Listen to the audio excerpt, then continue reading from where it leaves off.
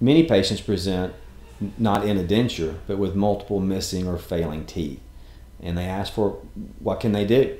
Quite simply, you can do implants for one tooth, many teeth, a full arch, a single quadrant.